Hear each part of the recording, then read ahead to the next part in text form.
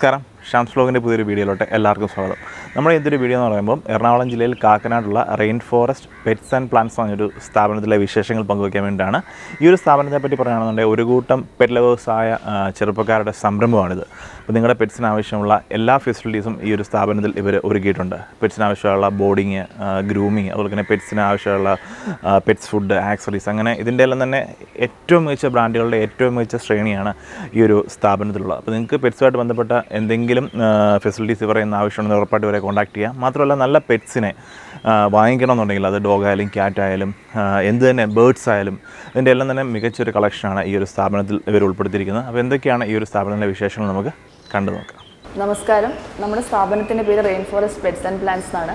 ഇത് സ്റ്റാർട്ട് ചെയ്ത് February eleventh two thousand twenty two ആണ് അപ്പോൾ ഒരു കൂട്ടം പെറ്റ് ലവേഴ്സ് എല്ലാവരും കൂടി ചേർന്ന് സ്റ്റാർട്ട് ചെയ്ത ഒരു ഓർഗനൈസേഷനാണ് rain forest pets and plants നമ്മുടെ പ്രിൻസിപ്പിൾ എന്താണെന്ന് വെച്ചാൽ പെറ്റ് ലവേഴ്സ് അല്ലെങ്കിൽ പെറ്റ് പേരൻസിന് എല്ലാവർക്കും ആവശ്യമുള്ള എല്ലാ കാര്യങ്ങളും ഒരു കുടക്കീഴിൽ എന്ന രീതിയിലാണ് അറേഞ്ച് ചെയ്തിരിക്കുന്നത്. അപ്പോൾ അവിടെ വെറ്റ് സർവീസസ് ഉണ്ട് നമുക്ക് അതുപോലെ ഗ്രൂമിങ് സർവീസസ് ഉണ്ട് പെറ്റ് ടോയ്സ് ആൻഡ് ആക്സസറീസ് ഉണ്ട്. പെറ്റ് ബോർഡിംഗ് ഉണ്ട്. കാറ്റ്സിനും ഡോഗ്സിനും സെപ്പറേറ്റ് ആയ പെറ്റ് ബോർഡിംഗ് സർവീസസ് ഉണ്ട്. ബിഗ് ബ്രീഡ്സിനാണെങ്കിൽ നമുക്ക് വേറൊരു സെപ്പറേറ്റ് ലാൻഡ് തന്നെയുണ്ട്. അവിടെയാണ് നമ്മൾ അവരെ ബോർഡ് ചെയ്യുന്നത്. കാരണം അവർക്ക് കളിക്കാനും ഓടാനും ഒക്കെ ഉള്ള സ്ഥല സൗകര്യമുള്ള സ്ഥലത്താണ് നമ്മൾ വയ്ക്കുന്നത് സ്മോൾ ബ്രീഡ്സിനാണെങ്കിൽ നമ്മൾ ഇവിടെയാണ് വയ്ക്കുന്നത് പിന്നെ കിറ്റൻസിനും അഡൾട്ട് ഡോഗ്സിനും നമ്മൾ സെപ്പറേറ്റ് കെയർ നല്ല പ്രോപ്പർ കെയർ ആണ് ഇവിടെ കൊടുക്കുന്നത്. പിന്നെ ഫുഡാണെങ്കിലും കസ്റ്റമർ എന്താണോ തരുന്നത് ആ ഫുഡാണ് നമ്മളിവിടെ പ്രൊവൈഡ് ചെയ്യുന്നത്. പിന്നെ ഈ ബോർഡിംഗ് ഫെസിലിറ്റി സ്റ്റാർട്ട് ചെയ്യുമ്പോൾ നമ്മുടെ മൈൻഡിൽ ഉണ്ടായിരുന്നത് എന്താണെന്ന് വെച്ചാൽ നമ്മളുടെ പേഴ്സണൽ ആയിട്ടുള്ള പെറ്റ്സ് ഉണ്ടായിരുന്ന സമയത്ത് നമ്മൾ ഓരോ സ്ഥലത്ത് ബോർഡിങ്ങിന് കൊടുത്തിരുന്നു. അപ്പോൾ അതിലുണ്ടായിരുന്ന പ്രശ്നങ്ങളും വിട്ടുവീഴ്ചകളും എന്തൊക്കെ ഉണ്ടായിരുന്നു? അതെല്ലാം കണക്കിലെടുത്താണ് ഈ പ്രോട്ടോകോൾസ് എല്ലാം നമ്മൾ ഫോം ചെയ്തത്. ഈ നമ്മുടെ ഒരു സ്ഥാപനം ടൈമിംഗ് നോക്കുകയാണെന്നുണ്ടെങ്കിൽ എങ്ങനെയാണ്? Timing morning ten to night eleven ആണ് നമ്മുടെ ടൈമിംഗ് പക്ഷേ ഇവിടെ ബോർഡിംഗ് ഉള്ള കാരണം ട്വന്റി ഫോർ സെവൻ ആളുണ്ടായിരിക്കുന്നതായിരിക്കും. അപ്പോൾ നിങ്ങൾക്ക് എന്തെങ്കിലും എമർജൻസി ഉണ്ട് വിചാരിക്കുക അപ്പോൾ you can just call us will be there always for you pickup and drop facility അങ്ങനെ എന്തെങ്കിലും ഉണ്ടോ? അതെ നമുക്ക് വൺ കിലോമീറ്റർ റേഡിയസിൽ ഗ്രൂമിങ്ങിനും ബോർഡിങ്ങിനും പിക്കപ്പ് ആൻഡ് ഡ്രോപ്പ് ഫെസിലിറ്റി ഉണ്ട്. പിന്നെ ഫുഡ് ഡെലിവറി ഉണ്ട് നമുക്ക്. Door delivery of food is available നമ്മുടെ ഈ ഒരു സ്ഥാപനത്തിന് ഇപ്പോൾ ബോർഡിംഗ് ഫെസിലിറ്റിയുടെ കാര്യം പറഞ്ഞു. അപ്പോൾ ഈ ഒരു ബോർഡിംഗ് ഫെസിലിറ്റിയുടെ നോക്കുകയാണെന്ന് പറഞ്ഞാൽ ഏറ്റവും വലിയൊരു ഹൈലൈറ്റ് ആയിട്ട് നിങ്ങൾ എന്താണ് കസ്റ്റമേഴ്സിന് കൊടുക്കുന്നത്?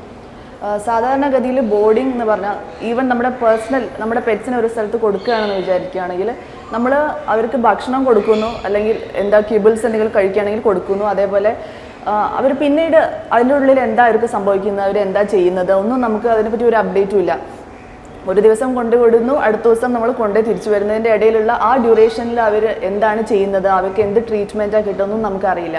അപ്പോൾ നമ്മുടെ ബോർഡിംഗ് ഫെസിലിറ്റിയുടെ ഹൈലൈറ്റ് എന്താണെന്ന് വെച്ചാൽ ഈവൻ ലൈക്ക് അവർ ഫസ്റ്റ് നമ്മുടെ ഷോപ്പിലേക്ക് വരികയാണ് ബോർഡിങ്ങിനെങ്കിൽ നമ്മൾ ഒരു പ്രീ ചെക്ക് നടത്തും. നമ്മുടെ വെറ്റിനേറിയന്റെ ത്രൂ ഒരു പ്രീ ചെക്ക് നടത്തും. അതായത് ടിക്സ് ആൻഡ് ഫ്ലീസ് ഒന്നും ഇല്ലല്ലോ. അതെല്ലാം ഉറപ്പുവരുത്തിയിട്ടേ കയറ്റുള്ളൂ കാരണം വേറെ ഒരു പ്രശ്നവും ഇല്ലാത്ത നല്ല ഹെൽത്തി ആയ ഡോഗ്സ് ആണ് വരുന്നതെങ്കിൽ അവർക്ക് ഇത് ഇൻഫെക്റ്റഡ് ആവാനുള്ള ചാൻസ് കുറേ കൂടുതലാണ്. അപ്പോൾ അതാണ് ഫസ്റ്റ് ഹൈലൈറ്റ് സെക്കൻഡ് ഹൈലൈറ്റ് നിങ്ങൾ കൊടുക്കുന്ന ഫുഡ് തന്നെയാണ് നമ്മൾ പ്രൊവൈഡ് ചെയ്യുന്നത് എന്നുള്ളത് കാണിക്കാനുള്ള time to time food eating updates നമ്മൾ കൊടുക്കും. അതേപോലെ തന്നെ അവർ കളിക്കുന്നത് അവർക്കൊരു പ്ലേ ടൈം ഉണ്ട്. Every like every day thirty minutes ഒരു പ്ലേ ടൈം ഉണ്ട്. അതിന്റെ അപ്ഡേറ്റ് നമ്മൾ കൊടുക്കുന്നതായിരിക്കും. ഫോർ എക്സാമ്പിൾ നമ്മൾ ഒരു ടോട്ടലായിട്ട് ഒരു കേജിങ് എന്നൊരു കൺസെപ്റ്റിൽ നമ്മൾ വിശ്വസിക്കുന്നില്ല. So every day they have some amount of play time അത് ഓണറിന് കാണാം. പിന്നെ ഓണറിന് പേഴ്സണലി നമ്മളോട് സംസാരിക്കണം. Or they want to watch or a video call അങ്ങനെയാണെങ്കിൽ നമ്മുടെ സപ്പോർട്ട് നമ്പർ അവർക്ക് എപ്പോഴും അവൈലബിൾ ആണ്. They can just have a video call with with the people over here so അതാണ് രണ്ടാമത്തെ uh, ഒരു സ്പെഷ്യാലിറ്റി എന്ന് പറയുന്നത്. പിന്നെ ഇപ്പോൾ ബോഡിങ് തന്നെ പല രീതിയിൽ ചെയ്യുന്നുണ്ട്. ചിലർ ഡേ കെയർ ആയിട്ട് മാത്രം ചെയ്യാറുണ്ട്. പിന്നെ ലോങ് ടൈമിൽ ചിലർ ചെയ്യാറുണ്ട്. എങ്ങനെയൊക്കെയുള്ള ആണ് നിങ്ങൾ കൊടുക്കുന്നത്? നമുക്ക് നോർമലായിട്ടുള്ള ബോർഡിംഗ് ഉണ്ട്. അതിൽ തന്നെ ഒരു കാര്യം ഫോർ എക്സാമ്പിൾ ഒരു ഡോഗിന് ടിക്ക് ആൻഡ് ഫ്ലീ ഉണ്ടെങ്കിൽ നമ്മൾ വേറൊരു സെപ്പറേറ്റ് റൂമിൽ ആ പെറ്റിനെ ക്വാറന്റൈൻ ചെയ്യും. ഓക്കെ അതിനുശേഷം ഡോക്ടറുടെ കണ്ടിന്യൂസ് ചെക്കപ്സ് ഉണ്ടാവും. അപ്പോൾ നമ്മൾ ഓണറിനെ ഓണറെ കൺവേ ചെയ്യും കാര്യങ്ങൾ എന്തൊക്കെയാണ് അവരുടെ പ്രശ്നം അവർക്ക് സ്പോട്ട് ഓൺ വേണമെങ്കിൽ അത് അല്ലെങ്കിൽ വേറെ എന്തെങ്കിലും ട്രീറ്റ്മെന്റ് മെഡിക്കേറ്റഡ് ബാത്ത് ഉണ്ടെങ്കിൽ അത്. അപ്പോൾ we have a communication going on between the owner and the doctor അപ്പോൾ ഡോക്ടറുടെ കൺസെന്റിന് ശേഷമേ നമ്മൾ തിരിച്ച് ബാക്കി ഡോഗ്സിനെ കൂടെ ബോർഡിങ്ങിന് വെക്കുന്നുള്ളൂ. But even the quarantine room അത് ബോർഡിങ്ങിനെ പോലെ തന്നെ എല്ലാ സൗകര്യങ്ങളും ഉള്ള ഒരു റൂമാണ് പിന്നെ coming to the facilities boarding അല്ലാതെ നമുക്ക് ഡേ കെയർ ഫെസിലിറ്റി ഉണ്ട്. അതായത് പേരൻസിന് പെറ്റ് പേരൻസ് ഓഫീസ് ഗോയിങ് ആണ്. വീട്ടിൽ ആരും പെറ്റിനെ നോക്കാനില്ല. എങ്കിൽ ഡേ കെയർ ബേസിസിൽ രാവിലെ തൊട്ട് വൈകുന്നേരം വരെയുള്ള ഒരു ടൈമിൽ നമ്മൾ പെറ്റിനെ ഇവിടെ കൊണ്ടുവന്ന് നോക്കി ഭക്ഷണം അവരുടെ പ്ലേ ടൈം എല്ലാം നോക്കി അതിനനുസരിച്ച് ചെയ്യുന്നതാണ്. അപ്പോൾ ഇതാണ് നമ്മുടെ റെയിൻ ഫോറസ്റ്റിന്റെ എക്സ്പീരിയൻസ് സെന്റർ എന്ന് പറയുന്നത്. എക്സ്പീരിയൻസ് സെന്റർ എന്ന് വെച്ചാൽ ഈ പെറ്റ്സിനെയൊക്കെ ആദ്യമായിട്ട് ഒരു ഫസ്റ്റ് ടൈം പെറ്റ് പേരന്റ് നമ്മുടെ അടുത്ത് വരികയാണെങ്കിൽ അവർക്ക് അറിയില്ല ഒരു ക്യാറ്റിന് എന്തൊക്കെയാണ് നമ്മൾ ചെയ്ത് കൊടുക്കേണ്ടത് അല്ലെങ്കിൽ ഒരു പപ്പി എങ്ങനെയാണ് റിയാക്ട് ചെയ്യുന്നത് അത് കളിക്കുന്നത് എങ്ങനെയൊക്കെയാണ്. അപ്പോൾ അവർ കുറച്ച് quality time quality time spend ചെയ്യാനാണ് ആഗ്രഹമെങ്കിൽ എക്സ്പീരിയൻസ് സെന്ററിലേക്ക് നമ്മൾ അവരെ കൊണ്ടുവരുന്നതായിരിക്കും. അപ്പോൾ ഇവിടെ അവർക്ക് ഇരിക്കാം പെറ്റ്സിന്റെ കൂടെ ടൈം സ്പെൻഡ് ചെയ്യാം. എന്നിട്ട് അവർക്ക് തീരുമാനമെടുക്കാം. അവർക്ക് പെറ്റിനെ വാങ്ങണോ വേണ്ടയോ അഡോപ്റ്റ് ചെയ്യണോ എന്നുള്ളത് അവർക്ക് തീരുമാനിക്കാം.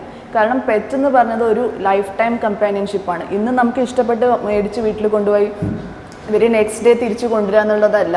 അത് ആ ഒരു പെറ്റിനെ നമ്മൾ വീട്ടിൽ കൊണ്ടുപോകുമ്പോൾ നമ്മുടെ കുട്ടിയെക്കാട്ടിലും നന്നായിട്ട് നോക്കണം ഒരു പെറ്റിനെ അപ്പോൾ ആ റെസ്പോൺസിബിലിറ്റി അറിയാനും നമ്മൾക്ക് അത് ഒരു പെറ്റ് പേരന്റിലേക്ക് പകർന്നു കൊടുക്കാനുമുള്ള ഒരു ഏരിയ ആയിട്ടാണ് ഈ എക്സ്പീരിയൻസ് സെന്റർ നമ്മൾ കണക്കാക്കുന്നത്. പിന്നെ നമ്മൾ പെറ്റ് ബോർഡിങ്ങിനെ പറ്റി പറഞ്ഞിരുന്നല്ലോ.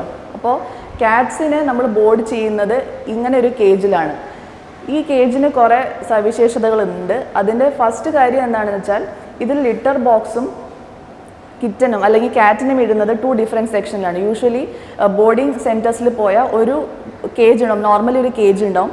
അതിൽ നമ്മൾ ഒരു ലിറ്റർ ബോക്സും വെക്കുന്നു ഒരു കിച്ചനെ വെക്കുന്നു. എന്നിട്ട് ഭക്ഷണം വെള്ളം കൊടുത്താൽ കൊടുത്തു അല്ലെങ്കിൽ അതൊക്കെ മറന്നു പോകുന്ന സ്ഥിതി ഉണ്ടാവാറുണ്ട്.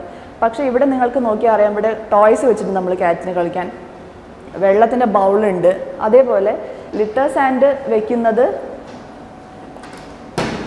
ഡിഫറെന്റ് ആയിട്ടൊരു സെക്ഷനിൽ തന്നെയാണ്. അതായത് ലിറ്ററിൽ എപ്പോഴും പോയി ഇരുന്ന് അതിന്റെ ശരീരം വൃത്തികേടാക്കാതിരിക്കാൻ ടൈം ടു ടൈം അതിന് യൂസ് ചെയ്യേണ്ട സമയത്ത് മാത്രം അത് ഈ ഹോളിലൂടെ വരുന്നു ലിറ്റർ ബോക്സ് യൂസ് ചെയ്യുന്നു തിരിച്ചു പോകുന്നു അപ്പോൾ അങ്ങനെ ഒരു സെറ്റപ്പാണ് നമ്മൾ ഉണ്ടാക്കിയിരിക്കുന്നത്. പിന്നെ അതേപോലെ തന്നെ നമ്മുടെ ലിറ്റർ ബോക്സ് എപ്പോഴും ക്ലീൻ ആയിട്ട് തന്നെ സൂക്ഷിക്കുന്നത്. ടൈം ടു ടൈം സ്കൂപ്പിംഗ് നമ്മൾ ചെയ്യുന്നുണ്ട്. അപ്പോൾ കാറ്റ് എന്ന് പറഞ്ഞാൽ എത്രയും പെട്ടെന്ന് സ്ട്രെസ്ഡ് ആവുന്ന ഒരു ജീവിയാണ് ഡോഗ്സിനെ പോലെയല്ല. അപ്പോൾ ഒരു കാറ്റിനെ വെക്കണമെങ്കിൽ അതിന്റേതായ ഒരു രീതിയിൽ നമ്മൾ എല്ലാം ചെയ്യണം. അപ്പോൾ അങ്ങനത്തെ ഒരു എന്താ പറയുക അങ്ങനത്തെ ഒരു സെറ്റപ്പാണ് നമ്മുടെ റെയിൻ ഫോറസ്റ്റിൽ ഉള്ളത്. നമ്മൾ പ്രൊവൈഡ് ചെയ്യുന്ന നെക്സ്റ്റ് ഫെസിലിറ്റിയാണ് ലൈവ് പെറ്റ്സ് ആൻഡ് പ്ലാന്റ്സ് ഇതെല്ലാം നമ്മുടെ ഫാമിൽ ബ്രീഡ് ചെയ്ത പ്ലാ പെറ്റ്സ് തന്നെയാണ്. അപ്പോൾ പിന്നെ ഇവിടെ കാണാം നിങ്ങൾക്ക് ഒരു കേജിൽ ഒരു പെറ്റായിട്ടാണ് അവർ ഇരിക്കുന്നത്. അതിന്റെ റീസൺ എന്താ വെച്ചാൽ കുറേ ജീവികളെ ഒപ്പം ഒരു കേജിൽ കേജിൽ വെക്കുകയാണെങ്കിൽ അവർ സ്ട്രെസ്ഡ് ആവാനുള്ള ചാൻസ് വളരെ കൂടുതലാണ്. അപ്പോൾ നമ്മൾ അതിന് പ്രത്യേക ശ്രദ്ധ കൊടുത്തിട്ടുണ്ട് ഒരു കേജിൽ ഒരു പെറ്റ് ഇരിക്കുന്ന രീതിയിൽ നമ്മളോട് വെച്ചിരിക്കുന്നത്.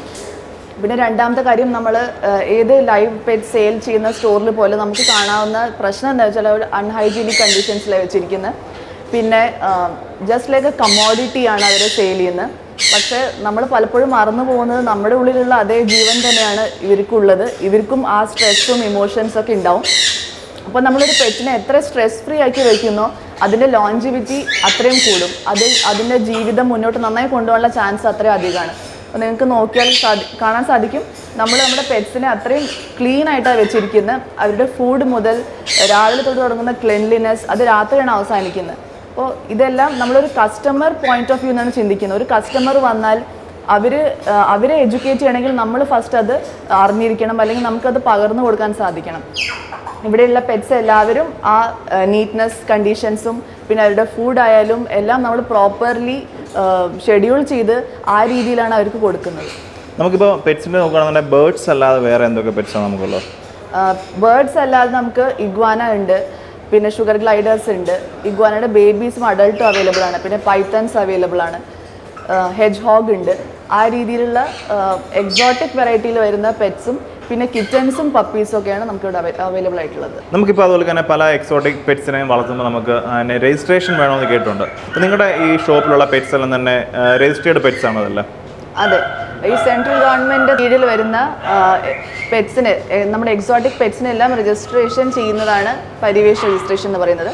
നമ്മുടെ ഇവിടെയുള്ള എല്ലാ എക്സോട്ടിക് പെറ്റ്സും ഇൻക്ലൂഡിങ് നമ്മുടെ പൈത്തൻ നമ്മൾ പരിവേഷ് രജിസ്റ്റർ ചെയ്തതാണ്. പിന്നെ നമ്മുടെ എക്സോട്ടിക് പെറ്റ്സിനെ വാങ്ങാൻ താല്പര്യമുള്ളവർക്ക് നമ്മൾ ഈ പരിവേഷ് രജിസ്ട്രേഷൻ ആ ഓണർഷിപ്പ് നമ്മൾ ട്രാൻസ്ഫർ ചെയ്ത് കൊടുക്കുന്നതാണ് അവരുടെ പേരിൽ ഇത് നമ്മുടെ റെയിൻ ഫോറസ്റ്റിന്റെ ഗ്രൂമിംഗ് സെക്ഷനാണ് ഇവിടെ നമ്മൾ യൂസ് ചെയ്യുന്ന പ്രൊഡക്ട്സ് എല്ലാം വളരെ പ്രീമിയം പ്രൊഡക്ട്സ് ആണ് നമ്മൾ പെറ്റ്സിന് വേണ്ടി യൂസ് ചെയ്യുന്നത്.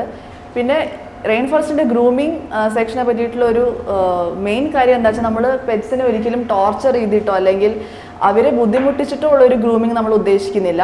ഫോർ എക്സാമ്പിൾ നമുക്കിപ്പോൾ അറിയാം ഗ്രൂമിങ്ങിൽ എല്ലാവരും കാമിങ് പിൽസ് ഒക്കെ കൊടുത്തിട്ടാണ് ചിലവർ പെറ്റ്സിനെ ഗ്രൂം ചെയ്യുന്നത്. പല പെറ്റ് സെന്റേഴ്സും അങ്ങനെയുണ്ട്. അങ്ങനെ ഒരു അങ്ങനെ ഒരു തരത്തിലും നമ്മളെ പെറ്റിനെ ടോർച്ചർ ചെയ്തിട്ടുള്ള ഒരു ഗ്രൂമിങ് സമ്മതിക്കുന്നില്ല ഇവിടെ. പിന്നെ totally C C T V surveillance നമ്മുടെ ഗ്രൂമിങ് സെന്ററിലുണ്ട് അതിനുശേഷം പറയാനുള്ളത് ഒരു pet for example one year ഒക്കെ ആയിട്ടാണ് ഒരു പെറ്റ് ഗ്രൂമിങ്ങിലേക്ക് ഒരു പെറ്റ് പേരന്റ് ഇൻട്രൊഡ്യൂസ് ചെയ്യുന്നതെന്ന് വെച്ചാൽ ചില ഗ്രൂമിങ് പ്രോസസ്സിനോടൊന്നും സഹകരിക്കില്ല പെറ്റ് അങ്ങനെയാണെങ്കിൽ നമ്മൾ ആ പെറ്റ് പേരന്റിനെ പറഞ്ഞ് എഡ്യൂക്കേറ്റ് ചെയ്യും. ഫോർ എക്സാമ്പിൾ ചില ഷിഡ്സൂസിനും മുഖത്ത് സിസർ ചെയ്യുന്ന ഇഷ്ടമല്ല അങ്ങനെ ആകുമ്പോൾ നമ്മൾ പെറ്റ് പേരന്റിനെ എഡ്യൂക്കേറ്റ് ചെയ്യും. അതായത് ഇതൊരു ഗ്രാജുവൽ പ്രോസസ്സാണ് സ്റ്റെപ്പ് ബൈ സ്റ്റെപ്പേ നമുക്ക് ആ പെറ്റിനെ ഈ എന്റയർ പ്രോസസ്സിലേക്ക് ഇൻട്രൊഡ്യൂസ് ചെയ്യാൻ പറ്റുള്ളൂ. അപ്പോൾ so they come every week ആ രീതിയിൽ പെറ്റിനും അതൊരു എൻജോയബിൾ എക്സ്പീരിയൻസ് ആയിരിക്കണം. പെറ്റ് ഗ്രൂമിംഗ് എന്ന് പറയുന്നത് പെറ്റ് അറിയാൻ പാടില്ല എന്നാണ് പറയുന്നത്. ഗ്രൂം ചെയ്യപ്പെടുന്ന പെറ്റിനെ അറിയാൻ പാടില്ല അതിനെ ഗ്രൂം ചെയ്യാണ് നമ്മൾ എന്നുള്ളത്.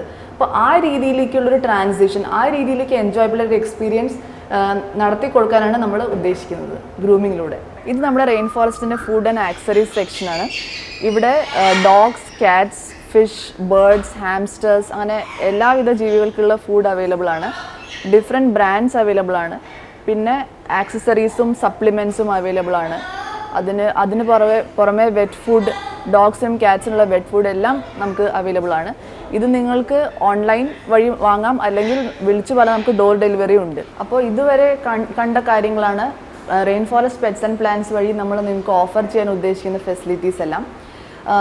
പറഞ്ഞിരുന്നല്ലോ അതായത് പെറ്റ് ലവേഴ്സ് എല്ലാവരും കൂടി ചേർന്ന് സ്റ്റാർട്ട് ചെയ്ത ഒരു സംരംഭമാണ് rain forest pets and plants അപ്പോൾ ഒരു ബിസിനസ്സിലുപരി ഒരു ഫസ്റ്റ് ടൈം ഒരു പെറ്റിനെ കൂടെ വളർത്തണം എന്ന് ഉദ്ദേശിക്കുന്ന ഒരാളെ എഡ്യൂക്കേറ്റ് ചെയ്യുക. എന്നൊരു കൺസെപ്റ്റാണ് നമ്മുടെ മനസ്സിലുള്ളത്. അതായത് എല്ലാ വീട്ടിലും ഒരു പ്ലാന്റും ഒരു പെറ്റും ഒരു മിനി റെയിൻ ഫോറസ്റ്റ് ഒരു വീട്ടിൽ സെറ്റ് ചെയ്യാനുള്ള ഹെൽപ്പ് നമ്മൾ വഴി നിങ്ങൾക്ക് എത്തിക്കുക എന്നുള്ളതാണ് നമ്മുടെ ഷോപ്പിന്റെ മെയിൻ കൺസെപ്റ്റ് അപ്പോൾ അതൊരു പെറ്റ് സെന്ററിന് ഉപരി ഒരു പെറ്റ് വെൽനസ് സെന്റർ എന്നൊരു കൺസെപ്റ്റിലേക്കാണ് ഞങ്ങൾ ഓരോ പെറ്റ് പേരന്റിനെയും ക്ഷണിച്ചു വരുത്തി എഡ്യൂക്കേറ്റ് ചെയ്യാൻ താല്പര്യപ്പെടുന്നത്.